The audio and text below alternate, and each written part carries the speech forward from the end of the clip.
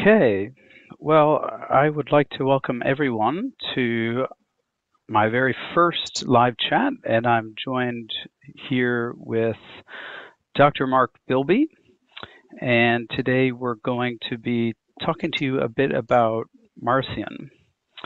But just to introduce ourselves, um, first of all, I'm Dr. David Litwa. Mark and I have the interesting um, fun fact that we both got our PhD from the same place, which is the University of Virginia. Mark was well ahead of me, however, and um, we both worked with the same advisor, Dr. Harry Gamble. Um, and although our paths didn't cross, it's been a real pleasure to me to see Mark doing some fantastic research on Marcion, and particularly the text of Marcion's Gospel and his text of Paul. So that is one of the reasons we've gotten together and we have decided to just do a short presentation, just five to 10 minutes each, on the sort of things that we've been working on with Marcion. And we want to generate interest and we want people to come along and ask questions, basically. And um, we will go from there. So, um, Mark, did you have anything to add? I want to give you time to also add things about your bio. Yeah, yeah. you mentioned the UVA connection. That's a fun one. Um, I also worked with Judith Kovacs there as well, um, who's a, a, mentor to me. But we both, I think, also said the common out. We were in the same program of Judaism, Christianity, and antiquity. So we're studying rabbinics and New Testament and Tanakh and classics all together. So I think both of us had the commonality of taking a substantive portion of our coursework in the classics department and then benefiting from that sort of cross fertilization of disciplines. So that was really good. We actually did interact a little bit at SBL, which I think it was 2019 in San Diego. I gave a presentation on Suetonius as potentially oh. uh, an influ- influence on the Lucan nativity story, and we went back and forth. You were you asked me a question the, from the audience about that, as I recall. Yep, yep, yep.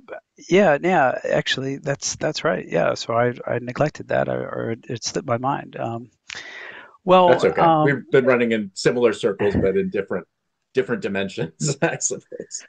Right, and now we we are here, um, and I'm so glad to have you, and I'm so glad um, that others are able to join us. And hopefully, I've done this right. This is again, folks, my very first time doing a live stream, and we're we're doing it from Zoom at the moment. And so I hope all of you are able to find it and uh, and join us.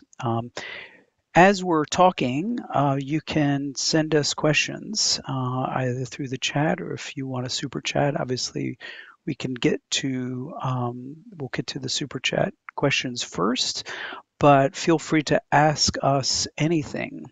Obviously, this is on Marcion, so this is your chance to talk about what interests you in Marcion, but I don't want to limit uh, anyone in that respect. So, what I'd like to talk about in my five or 10 minutes or so is a bit of Marcion's biography and what we can know about it. And most of this comes from my rereading of Tertullian's great work against Marcion, the biggest attack on Marcion probably that was ever written. And thankfully, it's one of the very few that survived. And Tertullian calls Marcion uh, a nauclerum, which is a shipmaster. And this is a bit different than being a a ship captain. A ship captain is the guy who pilots the ship, whereas the ship master owns the ship or or multiple ships and insures them and entrusts them to others, both pilots and crew to sail. So in other words, Marcion had a shipping business, and to build such a business, he must have had some inherited wealth in his family. Perhaps he inherited the whole shipping business from his father. We don't know. Eh, but we do know that shipmasters did well in antiquity, and there were associations of, of shipmasters. Um, if you've heard of uh, the new book by Kloppenborg, Christ Associations, this is one of those many kinds of associations in the ancient world that you could join if you were a shipmaster. And these groups had meetings in cities throughout the Greco Roman world. And they set up monuments in which they showed how they spent the excess of their profits. So a lot of these people were wealthy. Now, we don't know much about Marcion's life before he came to Rome. According to Tertullian, again, Marcion's first act on coming to Rome was to make a large donation to the church network there and there was no unified church at Rome at the time, but enough of the house churches had networked so as to probably, I'm speculating a bit here, but to set up some kind of common fund for the poor widows and orphans in the city. About a century later, we actually get some data on how the Roman Church was supporting the the poor. Uh, and can probably uh, infer that that kind of activity was going on several decades earlier. I suspect that Tertullian's source for this donation that Marcion gave to the the Roman Church network was probably his introductory letter. Um, it might have been a letter of recommendation comparable to Paul's letter to the Romans. Tertullian unfortunately doesn't quote or summarize this letter. He he just mentions it, and the point that he notes is that it, Marcion in this letter showed himself to be perfectly in accord with Tertullian's own Catholic faith. So Tertullian then made the inference that originally Marcion was basically a Catholic, or we might say, given the second century, an incipient Catholic. Now, it's telling that Marcion could present his faith in such a way that it was completely orthodox, even to a third century Catholic writer throughout against Marcion, Tertullian's polemic consistently exaggerates the differences between Marcionite and Catholic Christians, differences which must have seemed small to outsiders, and many of them may have emerged in the 40 plus years between Marcion's death and Tertullian's time of writing. Initially, at least, Marcion seemed like an incipient Catholic. Incipient Catholic congregations at Rome were at least glad to receive Marcion's money. So, how then do we explain Marcion's later break with the Roman leadership and the return of his funds? Well, I think here there are two points to keep in mind. Again, this is all from Tertullian, and he's probably reading Marcion's initial letter, which may have been a kind of letter of introduction to the Roman churches in which Marcion may not have revealed all of his theology. Like any intelligent writer, he would have kept back points that he knew seemed controversial. And the other thing to note is that Marcion's break with other church leaders in Rome seems to have occurred over a period of several years. So if Marcion came to Rome about the end of Hadrian's reign in 138, and he started his independent church movement in July of 144, which is a date that Tertullian also gives. Then we can speculate that yeah, it took about six years, uh, over half a decade, for any kind of rift to develop. And during this long Roman sojourn, Marcion likely developed his theology and view of Scripture. It's the place where he probably created his Kaine Diatheke or his New Testament. And he may even have been radicalized when he observed how Roman Christians focused on the Old Testament as scripture and didn't highlight the importance of Paul, at least, you know, from Marcion's perspective. And uh, I'll just finish up with this uh, donation. It was a large one. Uh, 200,000 sesterces was enough to buy a fairly sizable house in, in Rome. And I suggest that by this donation, Marcion may have tried to follow in Paul's footsteps. If you remember in uh, Second Corinthians and other places, Paul talks about the collection. And he apparently was trying to smooth his way into the favor of Jerusalemite Christian leaders by offering a Gentile collection of money for poor Jewish followers of Jesus in Jerusalem. And so, judging from Galatians, there were theological and personality conflicts between Paul and the so called pillars, and a healthy injection of gold could no doubt soften the hearts of even open critics. And these critics could then learn at least to tolerate Paul because he was such a big donor. Essentially, I know that sounds a little bit cynical, but that seems to be what's going on. And Paul could, in a sense, force their hand here because if the Jerusalem leadership accepted money from Gentiles, then they would have to accept, at least on some level, the legitimacy of Paul's Gentile or non circumcising mission. So, returning to Marcion, if, if you know, we're not told that he ever earmarked his donation for a particular purpose, but I suspect that he didn't want his donation going to line the pockets of powerful church leaders or to build a church building. In fact, they didn't have any church buildings uh, in the mid second century, uh, not that I know of at least. Probably Marcion wanted the money to go to the the poor. And in this respect, Marcion would have been a genuine follower of his own gospel. If you remember, uh, Jesus, um, you know, one of his most famous sayings is, "Go sell all you have and give to the poor." And three times in Marcion's gospel, Jesus says, Give your possessions as alms, and everything will be pure for you. And the one who doesn't renege all his possessions cannot be my disciple. And he tells the uh, one, some a law expert that sell all you have and give to beggars, and you'll have treasure in heaven.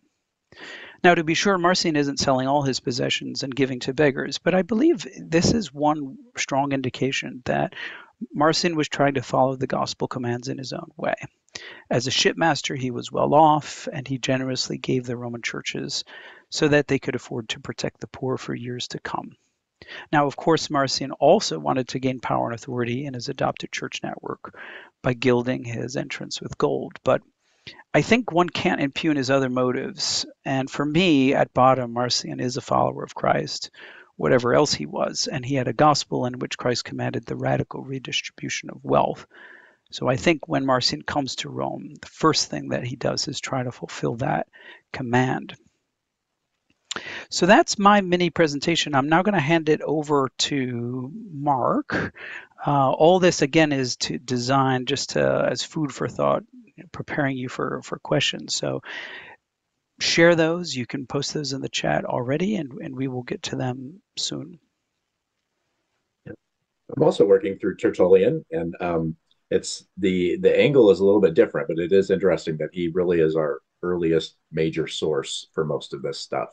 I think that's important to note. We, have little bits, little tiny bits from Irenaeus uh, that that have come down to us through fragments, usually just in Latin, and Origen, who was little later than Tertullian, but Tertullian really is the the mainstay where we need to be looking for traces of Marcion. Though I, d- I do tend to go back to Justin Martyr and his first apology as our first really solidly anchored historical reference to Marcion, which the first apology was written around 152, and he refers to Marcion uh, there as an old man and starts to criticize his belief. So at least gives us some some semblance of how uh, Marcion was received uh, by some some pockets of uh, Jesus followers in Rome around the mid second century.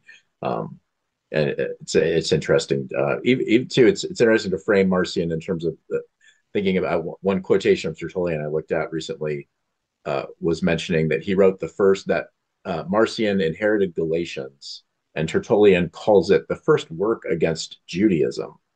I just found that to be a fascinating way of describing Galatians. You know, I've never, I never, uh, you, you know, there are different various ways you can read Galatians, but reading it as the first sort of adversus Judaios tract, um, that that may be a little bit reminiscent of what you know Justin Martyr was doing later too. But my my interest in Tertullian has been mainly in what evidence does he give us to put together what Marcion's scriptures were, and um, you know I'm certainly not alone in looking through that text very carefully to try to you know piece together what Marcion scriptures were. Um, eh, but I've you know tried to count all these up and take stock of them, and, and I'm I'm engaged in the middle of that project right now, um, helping out Marcus Vincent to go through all the the attestations that he has put together in his forthcoming critical edition of Marcion's Apostolos, and I'm I'm adding in some more for his consideration. So uh, other other places perhaps in Tertullian's work that might be the basis to give us some of Marcion's scriptures of uh, particularly the Paul's letters in this case, um, but I've already done something similar for the Evangelion. And uh, this kind of goes together with what Jason BeDuhn's interest was in the text. It's kind of broadening out the sources, thinking, thinking in a broader way about where traces of the Marcionite scriptures might be living. So Jason has has a nice contribution to an episode recently on Jack Bull's podcast Patristica he was a, a, guest during that time during that episode, and he talks about you know expanding out, for instance, to the the Acts of Archelaus, who was uh, this was a, a tract, uh, an anti-Manichaean tract, but it was probably built on an earlier anti-Marcionite tract, and it happened to use like uh, pretty much all of its references to the scriptures, or, or many of them at least, seem to coincide with the Marcionite scriptures. So when when a critic of the Manichaeans happens to be quoting all the same scriptures that show up in another tract that is anti-Marcionite, like such as the Adamantius dialogue, if you read through that text, most of the time we don't you know some of it it could be from the canonical form of the text, but some of the uh, a lot of the time it seems to be a debate over the Marcionite forms of those texts. Um, so I, am interested. It's it's it's a challenge, and you know, it, sometimes it goes challenged in uh, by even legitimate scholars who just think that we can't reconstruct these or we can't reconstruct them with any any amount of confidence at all. So I'm I'm interested in taking more of a a scientific, almost forensic kind of reconstruction process of thinking about this as like a broken record, not a broken record that just keeps playing and playing, but uh, you know, seriously degraded recording from antiquity. And if if we were to find, you know, if you if you walk down the the street and you found a, you know, a record from you know a, an original Beatles album, but it had been like rotting in the sun for seventy years, could you reconstruct some of the the notes or many of the notes on that, you know, using kind of forensic techniques? So that's the kind of way I think we should come at these texts that we, we can't maybe piece together 100% of the data that's there, but there's a lot of data that we can restore because not only is there an original recording, it's real, but it, it echoes and gets sampled and resampled and resampled and resampled, often in hostile modes. But just because it's hostile doesn't mean it's not a resampling that that you know really does reference uh, an earlier text. So, and this is where I think you know David's work is really important because he's helping us get past the polemical the the heavily overtly polemical ways that um, the Orthodox apologists depicted Marcion and um, help us to get a more sort of real life, realistic um, picture of him. I'm interested in the same kind of thing, and that's partly why I've, I've brought together in some of my publications, Open Science book as well as uh, Claremont Press book, is that we need to think about Marcion and Pliny, Pliny the Younger, uh, really in the same context. We, we, should be thinking more about Pliny and what's happening in Bithynia Pontus in the early second century, and then Pliny's social network, which included a guy named Tertullus, Julius Cornutus Tertullus, which is to me this is really fascinating figure in Acts named Tertullus, who shows up in Acts 24. He's an opponent of Paul. He's a lawyer. Well, turns out Pliny's one of his best friends and his successor as governor of Bithynia Pontus was named Tertullus, and it's a pretty rare cognomen when you look at the epigraphical evidence. So you look at uh, I have a chapter on Pliny in a, a book that Kloppenborg and Verheyden edited, where I look into those kind of connections. Pliny was also very connected to Tacitus and Suetonius. All these guys knew each other. Um, you know, uh, Pliny was a consul suffectus in the in the Senate of Rome in the year 100, together with Tertullus. Um, so I, I, see Luke and Acts as coming out of that post Pliny world, but I also see Marcion as coming out of that Pliny world, and and he's aware of, and and helping maybe to, he's either part of or helping to shape a kind of messianism. And I, I would I don't I'm sort of the, late parting of the ways view here. I don't think Christianity is a distinct, complete social organization in the in the mid first or late late first century I think it was a gradual parting of the ways, and it, it, didn't happen all at once, and it didn't happen all at once in one place, or or something like that. So um, I, I, see Pliny as dealing with Christiano, Christiano, Christianus as messianics, and um, and Marcion is really helping to put express a form of messianism and, a network of messianism that was not as hostile to the Roman Empire as maybe previous iterations of messianism was, and that was probably overtly opposed to the campaign of Simon Bar Kokhba. But I see Marcionism as sort of a form of an anti-Bar Kokhba and maybe anti-Kitos War form of messianism um, that arose. But that, that doesn't mean it's not without earlier sources and that Jesus might not have taught something like non-retaliation um, and that sort of thing. But that maybe that was too much too much ground to cover. But I think there's some interesting connections between our work, and I think the main priority is is getting past the stereotypes about Marcion and getting past the the radical, really, I would say it's like faith biased uh, dismissals of Marcion and his scriptures, and just trying to get to know this person in a historical way, do, doing critical historical inquiries and critical textual inquiries to try to get to know what was really going on in these social networks in the early to mid second century, and and the Orthodox narrative might not. You know, the, the narrative that Irenaeus gives us is that there was only really one form of Christianity, and you know all the others are these crazy deviations and and so on. And, and so the, the picture we get from them is not going to be a very reliable picture in terms of doing doing critical historiography. Excellent. And, you know, let's not forget, this is the guy, Marcion, this is the guy who gives us the first New Testament, okay? Um, so he's super important. And if you're going to judge his doctrine, the rule is don't judge him by the heresiologists, judge him by his own gospel, because that's what he's going to try to follow first. Okay, there's a lot of negative press, a lot of yellow journalism that you'll see against Marcion. But the key to becoming a good critical reader of the sources is look at his gospel, look at the Apostolicon, that is his collection of Paul's letters, and Mark, along with others like Jason BeDuhn and Marcus Vincent, um, are absolutely key players in giving us a reconstructed version and of getting that those texts right. Marcion's gospel is always a reconstruction, folks. Don't let anyone tell you that we have it or we found it. Uh, it's always a scholarly reconstruction, okay?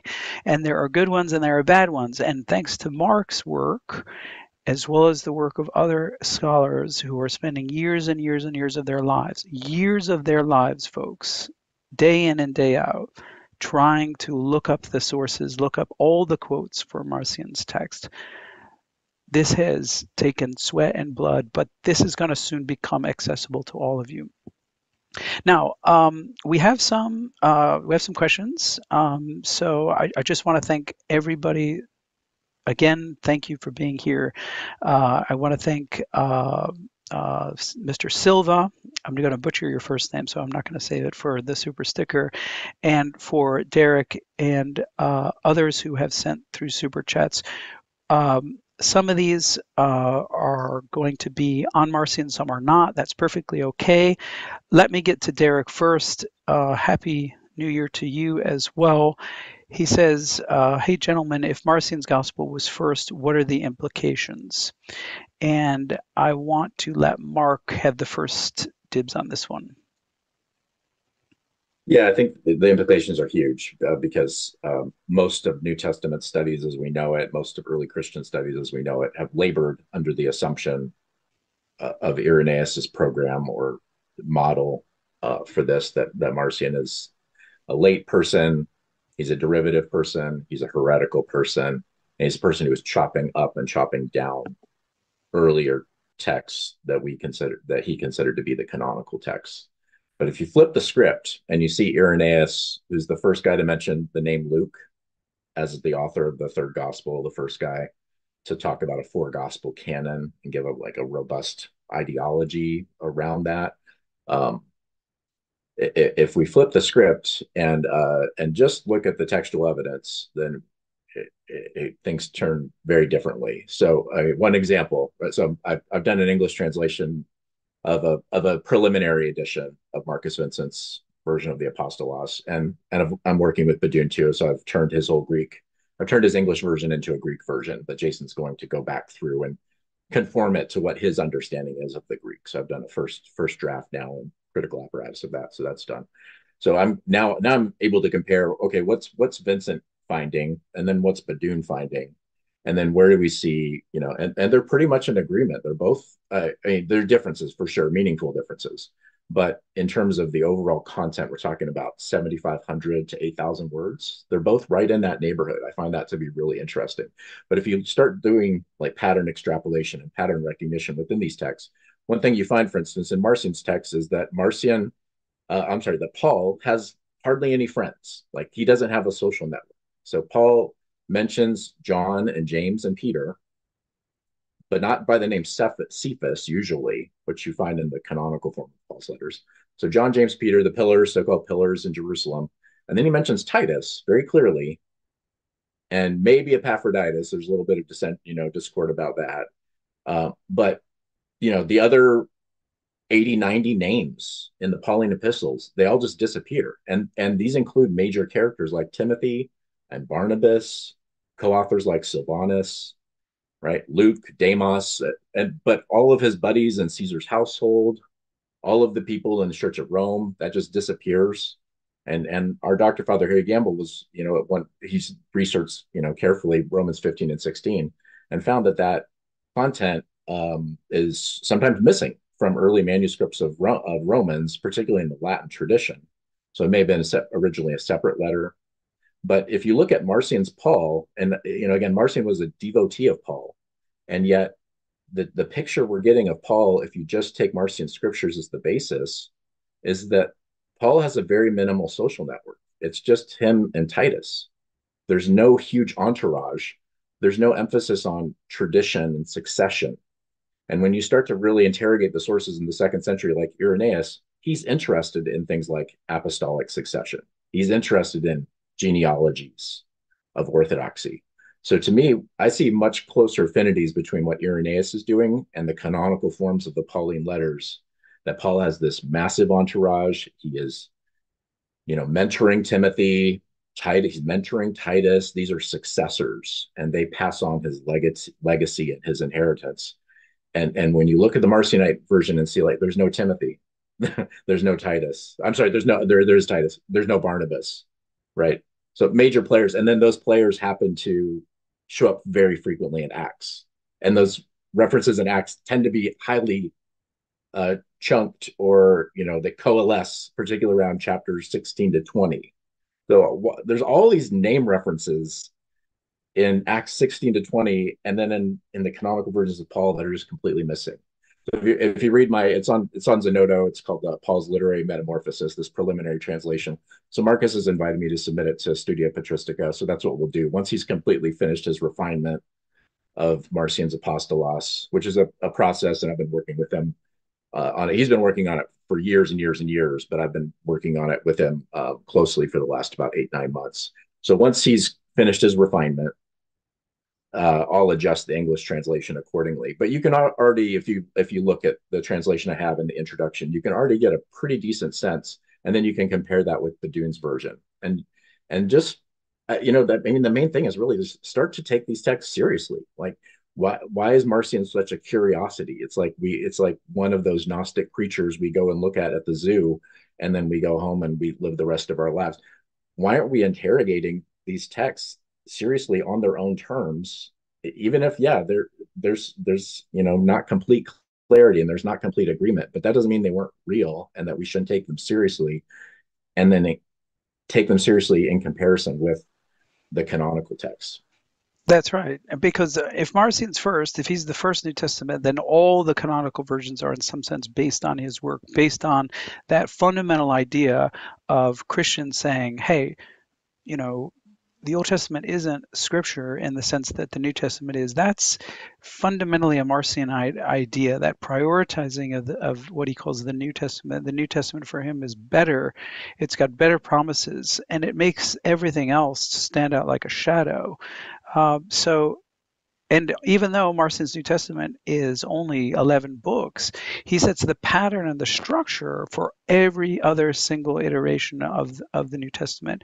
Every other single version in the New Testament, and there are many, okay, mind you, um, is going to start with a gospel and then is going to move on to epistles, uh, usually Pauline epistles. And then as the New Testament grows, and it grows over the course of centuries until we get basically to the, the final iterations in the fourth century, it grows from 11 to 27 books eventually. Um, in some manuscripts, it seems to have had more. If you look at, you know, Sinaiticus, um, I believe it's got Barnabas, and uh, some people thought the Shepherd of Hermas should should have been in the New Testament apparently, but eventually they they got it to 27 so going from 11 to 27 that's significant but the structure is is similar. And and the structure is life of jesus plus letters of paul. And they're all consistent and Marcion's text is, in that sense, structurally the basis. And it's significant also that Marcion's text is the basis for canonical Luke, right? So there's no single manuscript of canonical Luke that doesn't, in some way, go back to Marcion's original instantiation of that, because the theory of Marcion's priority says that his gospel came first and that canonical Luke is a uh, a revision of that. and it's a very intentional revision. It has a editorial tendency, which is an anti-Marcionite editorial tendency, and that from my perspective, according to my theory anyway, I don't know if Mark agrees, but whoever is editing Luke in an anti-Marcionite direction is also writing Acts. And so the final product, that final diptych, um, is that editor, probably working in Rome, I think, in the mid second century, trying to revise Marcion's gospel as well as his version of church history so as to reclaim Paul for these incipient Catholics. Um, That's right. We yeah. need to move I, on. I would agree with that. Could, could I just fill out a little bit more? I just mentioned a couple of things. One, yeah, one thing quick, might yep. be to, to take texts like the Acts of Paul and Thecla, which have many itera- iterations and many subsections, but to take that more seriously as a viable, popular, not just fan fiction, but a, a, something that might have been considered on the level of canonical Luke in uh, and, and, canonical Acts in certain audiences. And if you look at the Acts of Paul and Thecla, its picture of Paul is much closer to Marcion's picture of Paul as somebody who's a radical preacher of virginity, for instance which is also right. closer to the picture of Jesus in certain gospels. But the other big thing, and th- this this is where if you take Marcion Marcionite priority seriously, it shakes up New Testament studies to its foundation because all the theories of Q, Farrer, hypothesis, none of those take Marcionite text seriously and, and Marcionite priority seriously. So if Marcion's gospel is before Luke, then using canonical Luke to try to establish Q is a fool's errand. And and and the wrong approach to take completely. You're using a massively contaminated text that was using many, many sources, five, six, seven, who knows how many sources canonically Luke was using, versus a, an earlier, simpler, simpler gospel. And people like Jason BeDuhn, Pier Angelo Gramaglia, Daniel Smith, I think is of this view as a Kloppenborg protege. Um, and I, we, we're all of the view that Marcion's gospel looks like a pretty simple two source gospel. And so that's actually how we get back to Q. If there was a Q, and right, I mean, we can debate about that, but do we use canonical Luke to get to Q, canonical Luke and Matthew, or do we use Marcion's gospel to get us to Q? And and David's brought up, you know, this theme of the poor in Marcion's life, but it, you know, it's it's all throughout his scriptures, and that is pretty consistent with what scholars have generally thought about the content of Q. It's it's the beggar's gospel. It's the gospel of the poor. Excellent. Thank you so much, Mark. So I'm going to go now to, uh, if I'm not mistaken, um, we have next uh, Victor De La Rosa, um, who asks me um, Are demons a pure Christian invention? Or do you think they show up in the Old Testament as well?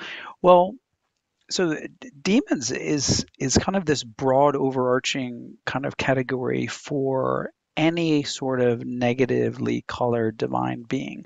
And if we have that broad based big tent definition of a demon, then demons go way back, um, much earlier even than the Old Testament. I mean, we, we have Sumerian and Akkadian literature that mentions uh, hostile divine forces, which could be categorized as demonic. Uh, if if you've read the Enuma Elish, I mean, you might even think of uh, some of these rebel gods um, uh, or second tier or middle management deities as uh, as demons.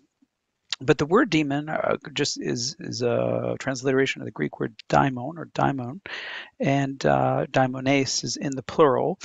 So uh, Christians definitely aren't inventing those. That, that's all over Greek literature.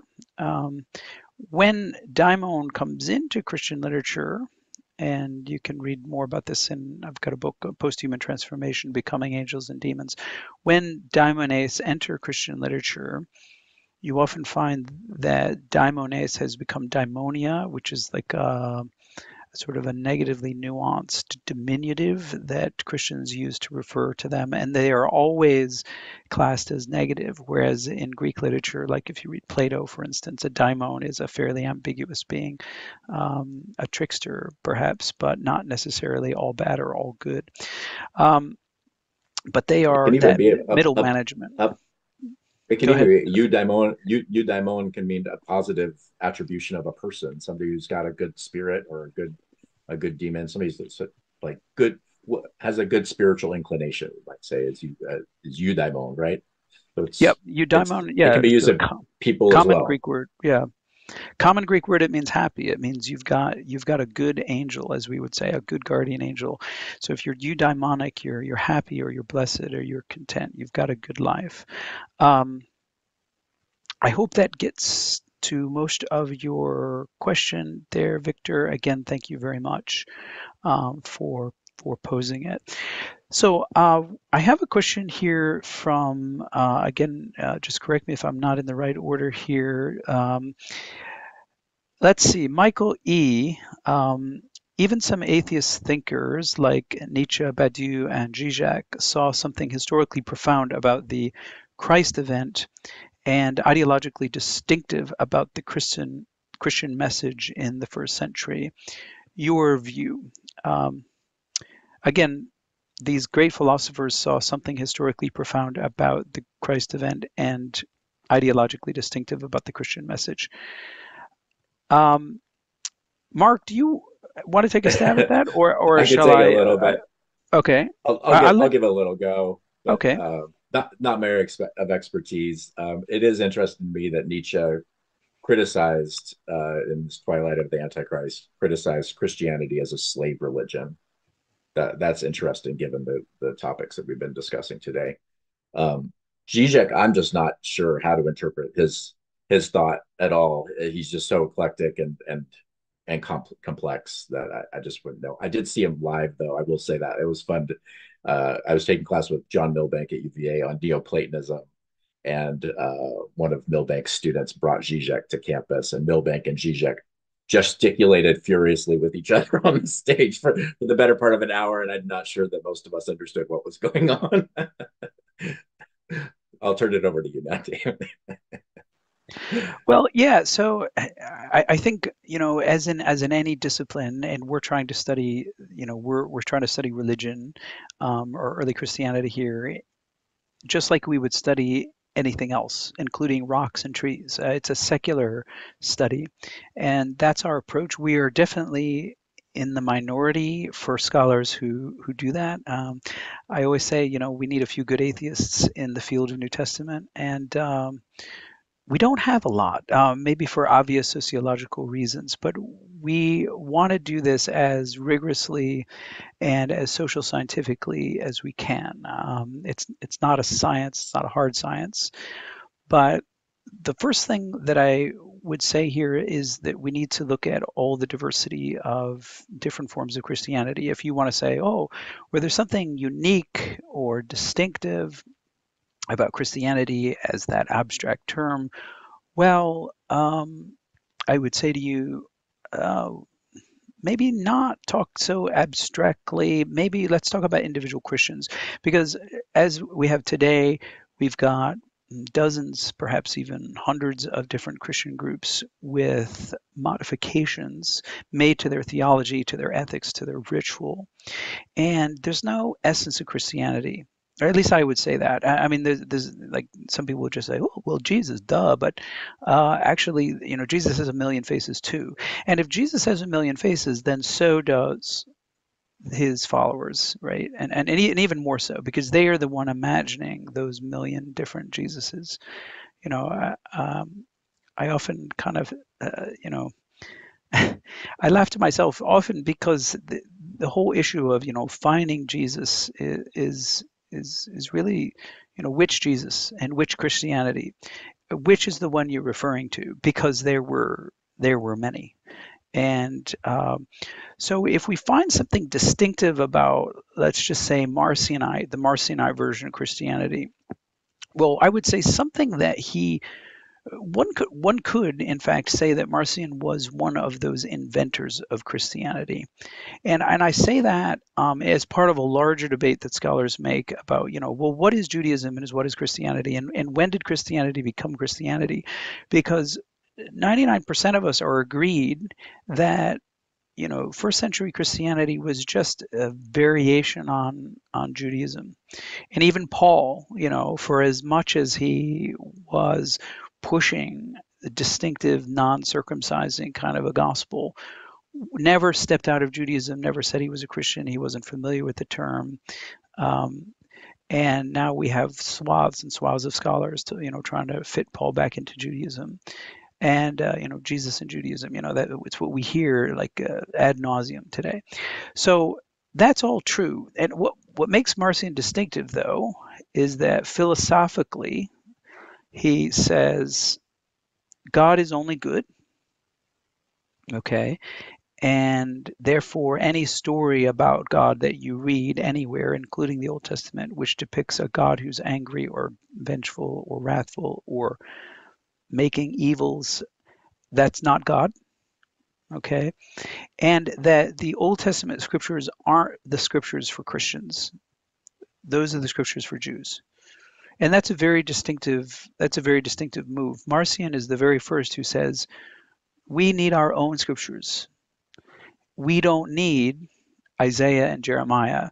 Now, he doesn't necessarily like totally discount those and say don't read those books. Um, I mean, he clearly read them himself. He doesn't reject the Old Testament in that sense, but he does. But he says that for Christians, our authority is Jesus and Jesus alone. Jesus brings a new revelation of a new deity, and that's why we're no longer Jews. Um, and and I think you know some people have made the great mistake of then saying, "Oh well, okay, so Marcion is then anti-Jewish." Not at all. For someone who tries to make a rigorous distinction between the followers of Jesus the Messiah and Judaism, that person is not necessarily anti-Jewish. That person is trying to show a distinction. And there's not a single bad word that Marcion says against Jews specifically, even though he's die hard and in fact, he agrees with Tertullian on this point raised by Mark that books like Galatians or letters like Galatians are manifestos against Judaism, or they're manifestos for devalidating the law, by which is meant the Torah, as valid for, for Christian life and ethics. It was the Sermon on the Plain uh, or whatever we want to call it, that was the new law for Marcion, the new Torah. And he said that the Mosaic Torah is no longer uh, needed; it's it's deficient, and that is very highly distinctive. And he's he's the first that really pushes that through in a major way. So that's what I would say. Obviously, other forms of Christianity Christianity are going to be distinctive in different ways, but uh, since we're a little bit short on time, um, I've got to go to the next Can I question. Follow just a little bit more on that one. Yep, yeah, just a minute more. Oh, so, we, yep.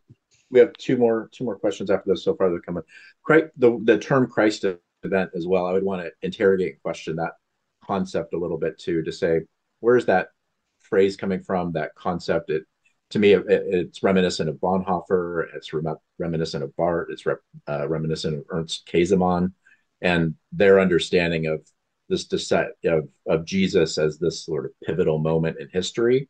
And that that filters into, you know, later, certainly in, in the writings of Eusebius or uh, Dionysius the Little, there's a, there's a lot of examples of understanding Jesus as sort of a pivot point of history. So, and, and our whole system of time, of course, is in the Gregorian calendar is built on that. So we sort of have an innate bias, I think, to see Jesus of Nazareth as a pivotal person. Um, it may be, though, that Marcion points us more in the direction of the rupture. One of the bigger ruptures was Hadrian.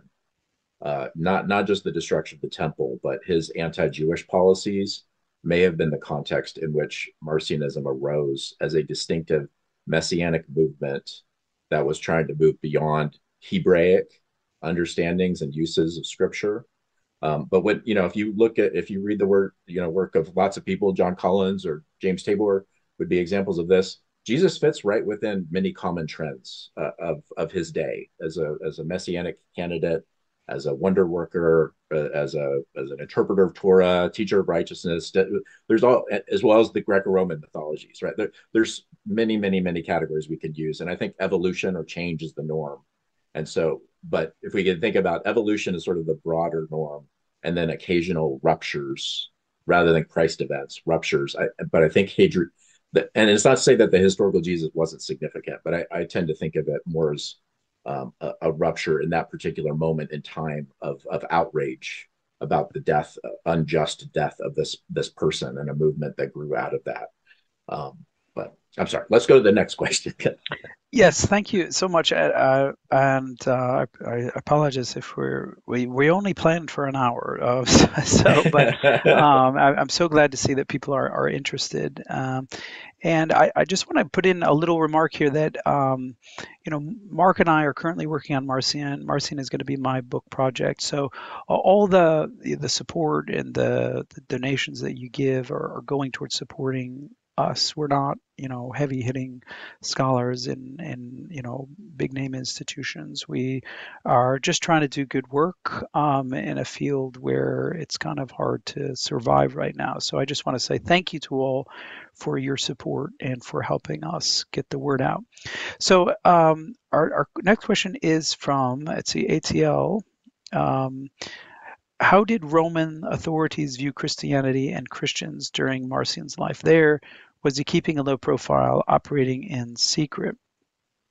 Uh, I'll just say a little word and, and then go to Mark here. Um, there's nothing secret about Marcion, I, I, don't think. Actually, secrecy is not really too much of a theme. And he, he comes to Rome um, making this big donation. He wants everyone to know who he is, and uh, he wants people to know um, I think when he publishes his New Testament, um, you know, I envision it sort of like um, a bit like Martin Luther in the 95 Theses. I know that people, you know, I, am not trying to say he was Luther or, proto Luther or anything like that, but it was a big event, and uh, I, it shook it shook the Christian community. Um, and, and you know we have you know 15 different treatises written against Marcion in the space of 50 years. I mean they're they're panicking, they're panicking. Um, but interestingly, the, the only person uh, that comes to my mind that talks about Roman authorities in Marcion um, is uh, is Justin. And Justin Martyr says, um, and writes to in his first apology, he says to the Roman authorities, hey, I noticed that you're persecuting our group, but there's these other people called Marcionites, and they're the guys you should be persecuting. so, so uh, you know, it's like one Christian backstabbing the other, basically. Um, and um, this is actually sadly a common theme among Christians that you know the, the the people who reported other Christians to the Romans were other Christians. so, I mean, in, in, some cases that, that that was that was the case, um, because it, it's the Christians who squabbled most uh, uh, amongst each other, and actually the Roman authorities don't really take too much notice um, that we can that we can tell. I mean, you know, episodes like Pliny and you know the the the Decian persecution. These these are like blips uh, in in the wide field of history where Roman emperors, you know, and, and other high religious officials in Rome are just doing their own thing and they don't seem to notice this tiny sect. And really, who would? I mean, would you notice, you know, the Jehovah's Witnesses in your town unless they came knocking on your door? I mean, it's sort of like that. Anyway, Mark, do you want to say something?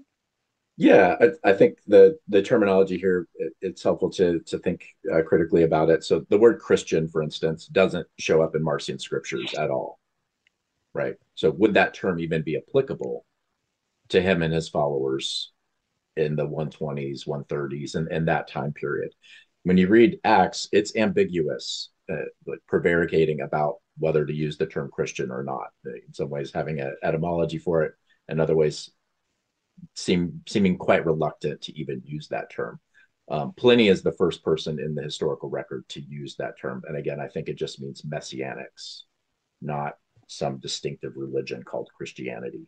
So by the time of Justin, you may have something like the notion of Christianity as a as a as a cult, a cult uh, you know, a ritual practice that's distinctive from Judaism, and then internecine rivalries among rival groups in Rome uh, around the mid second century. So what what Romans thought about Christianity during Marcion's life is, is an anachronistic question because there were there was no such thing as Christianity.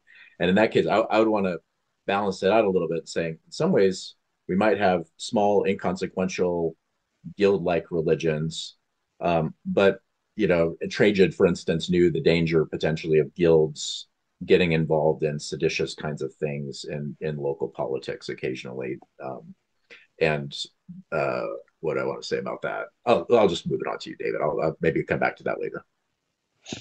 Okay, okay. Um, well, again, thank you so much for your question. Um, I'm going to bring it to Pedro. Uh, thank you so much, Pedro, for your question and your super chat. Um, what are your opinions on the supposed Docetism that Marcion supported?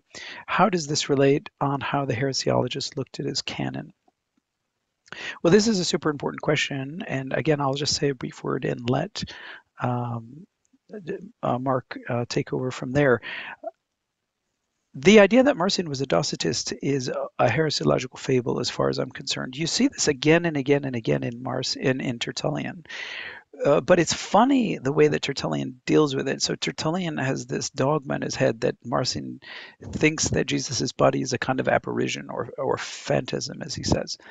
And as he's going through Marcion's gospel, you know, you know, time after time, he's like, well, this shouldn't be here because Jesus' body is not actually supposed to be solid. But according to the story of him preaching in Nazareth, they grabbed him, they pushed him to the brow of a hill, and they were about to throw him off.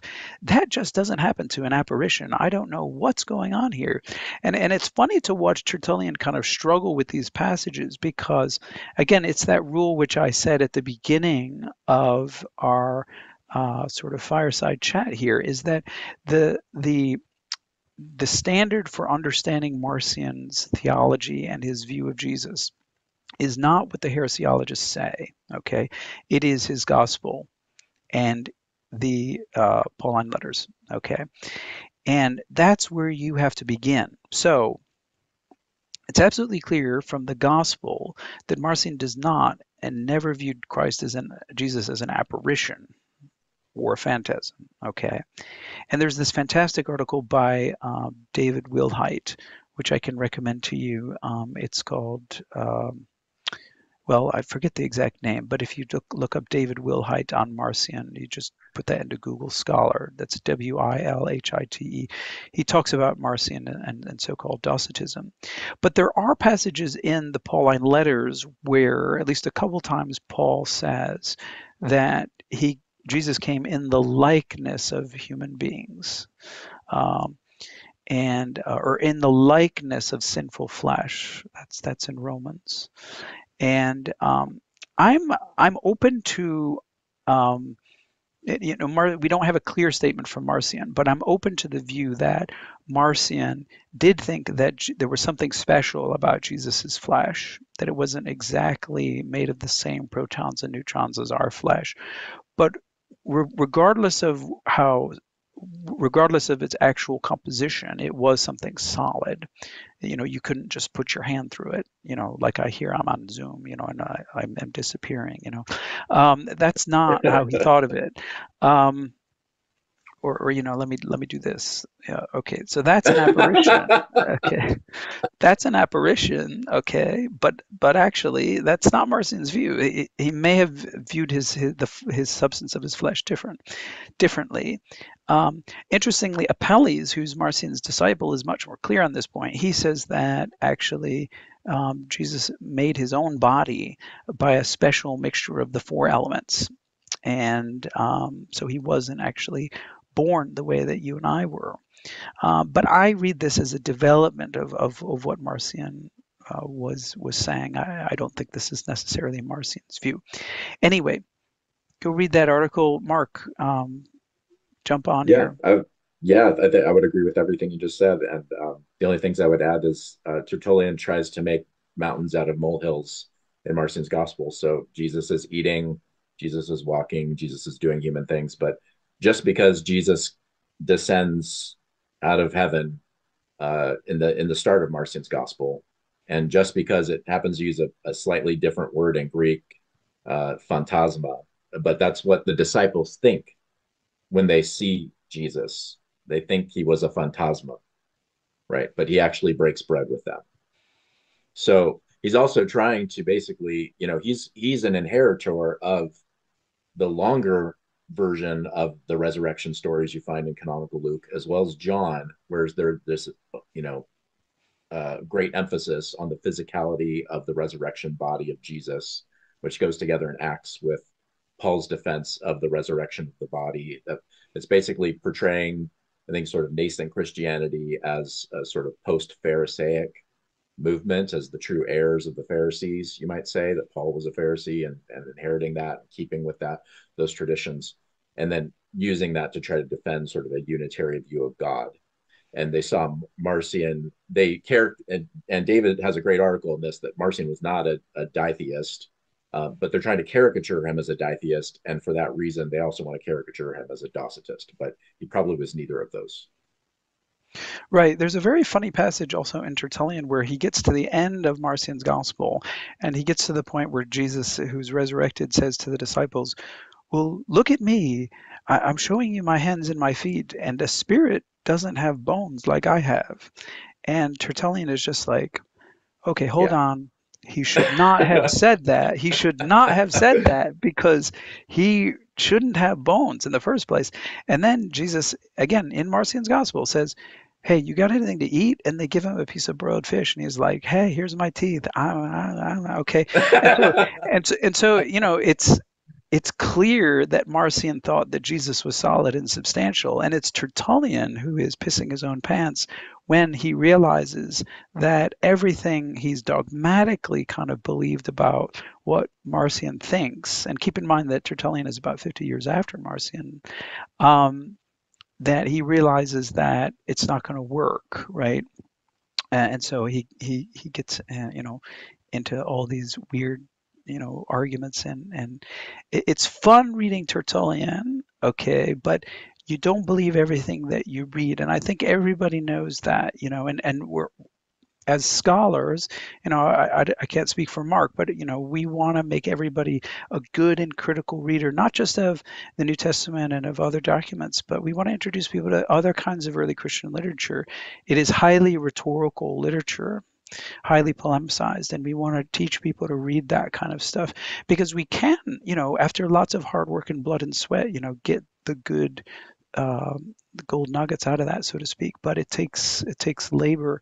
And the unfortunate thing about Marcionite studies in the past, in the 20th century, is that people have taken a, basically a heresiological perspective and said, "Oh, okay, Tertullian says Marcion was a Docetist. Okay, well, I guess he was then." And then not allowing um, not allowing for Marcion's gospel himself to speak. So we've got one final, we'll take one final question. Um, and actually, Mark, I'm going to let you take this from John D. Um, what are your opinions on whether or not Marcion redacted his gospel? This is right up your alley, Mark. Yeah, sure. Um, what what I've been finding, and uh, I've been looking at this and have, have an open science book if you want to get into the thick of the weeds on the patristic attestations and Greek reconstructions and all that. And I've, I've published um, Greek additions to uh, d- data sets of all the past reconstructions of Marcion's gospel. So you can now compare them, uh, you know, very, very carefully. And they're very, very different, all the reconstructions. But um, in any case, to the to this particular question, did Marcion redact his gospel? That is certainly what Tertullian and other Orthodox apologists want us to believe about him. Uh, it's just that there's hardly any real evidence for that. You know, uh, all because all the usually it, it amounts to a case that Marcion was cutting out the Jewish scriptures but then if you actually read Marcion's gospel, you find that he's continuously referencing the Jewish scriptures in a positive way. So what, what Marcion's gospel is lacking is a bunch of proof texting, salvation historical uh, explanations and expansions of the Jesus tradition, where Jesus did this to fulfill this prophecy, and Jesus did this to fulfill this prophecy, and that's that's the redaction. So all, all that salvation historical Septuagintal layering into the story of Jesus. That's the redaction.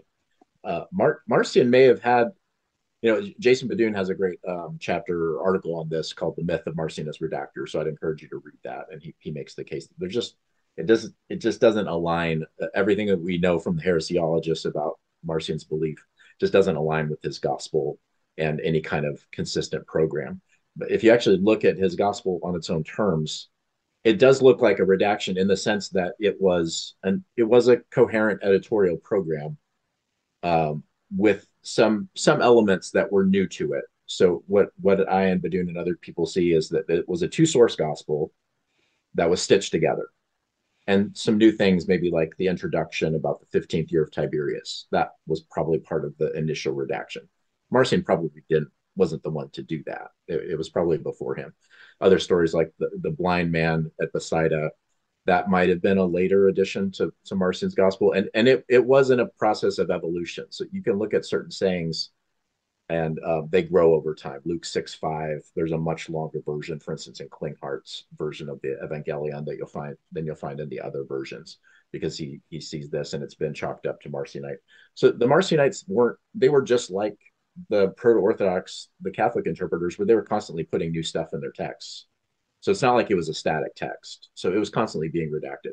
But do we have any evidence of Marcion carrying out any kind of serious redactional or editorial program? No, that's that's just heresiology. That in terms of what I, I think what the critical scholarly consensus is uh, around this, even though like you know, it's hard to talk about consensus with with humanist or humanities scholars, but well, I want to thank everybody so much for their interest. Uh, John D, thank you for your super chat. We uh, we do have one more. I don't want to um, shut anyone down. Um, uh, from Elias, I hope I'm not butchering that. Uh, thank you so much for your super, super chat. Uh, BeDuhn mentioned that all the references in the antitheses were Matthean. And the question is, were Ebionites aware of Marcion and did they interact? Um, uh, Mark, I, I, don't know. What do you what do you think?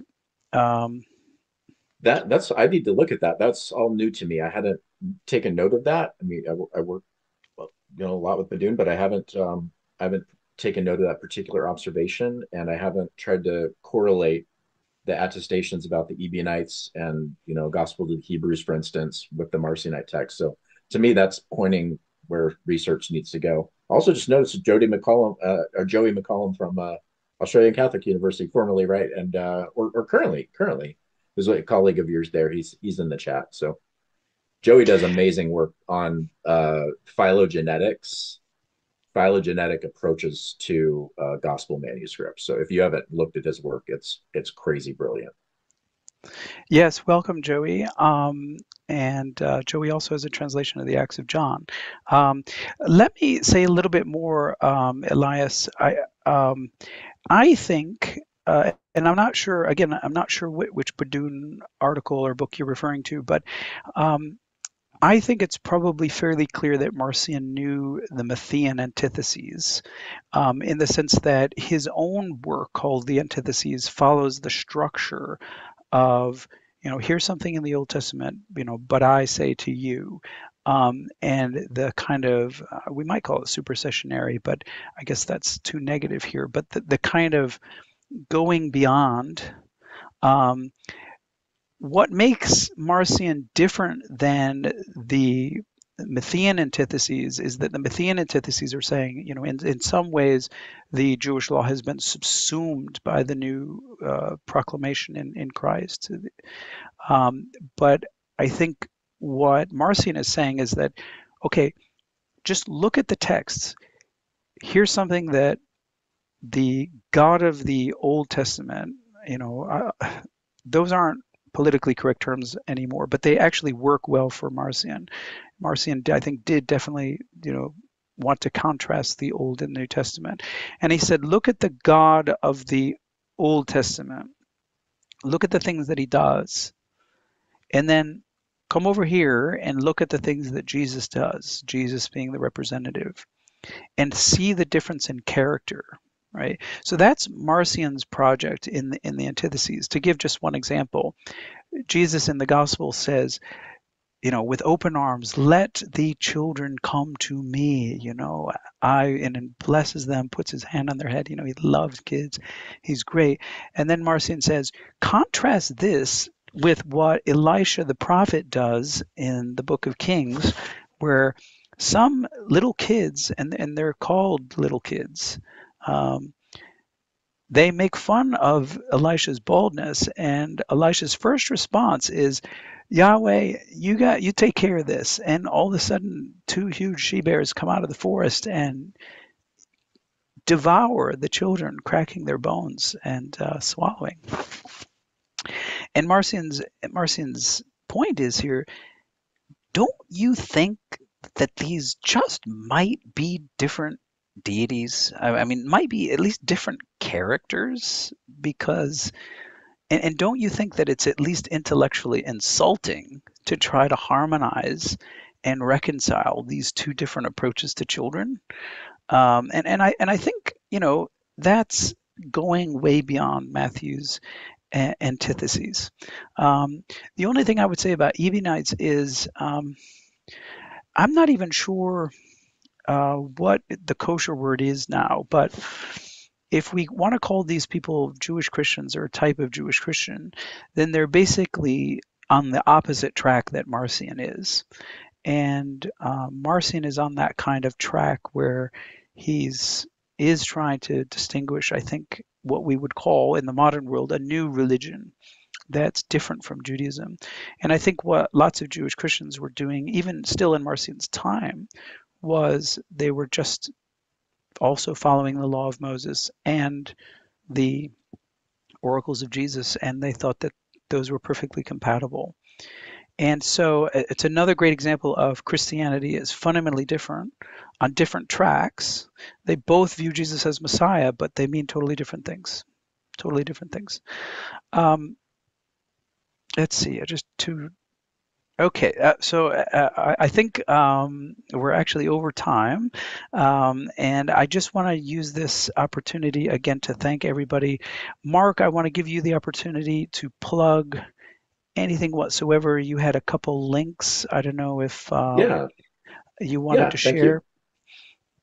Yeah, the places I direct people are I I don't have a YouTube channel of my own, but I'm co co-managing with Jack Bull the Patristica channel. So it's it's fairly new, but you'll find some really amazing regular guests there, like Markus Vinzent and Jason BeDuhn. And uh, I think David's going to be a guest in the future, and we'll continue to reach out to other scholars to have interesting conversations, uh, mostly about Marcionism, but uh, you know, early second century, late late first century Christianity. Um, I have a Patreon, Mark G. Bilby, um, but I'm also on GitHub, and uh, a lot of the work I'm doing these days is on GitHub, um, trying to make these integrations of gospel studies with computational linguistics approaches. So for the coders out there, data scientists, please please come over to GitHub and um, you know start start helping us do data curations, data transformations, data analysis. Um, it's getting easier and easier for the public uh, to be a part of that. So those of you using ChatGPT 4.0 and the data analysis tool, start plugging some of that Marcionite data in there and see what you get and come back to us. Um, I'll have some some pretty, I think, significant announcements later about some happenings in that data science, data curation space, uh, but I'll, I'll leave that for another episode. Thank you again so much, Elizabeth Adams. Thank you for your super sticker. It is so wonderful to see uh, all of you and to see all of you interacting in the chat. I apologize if we did not get to your question.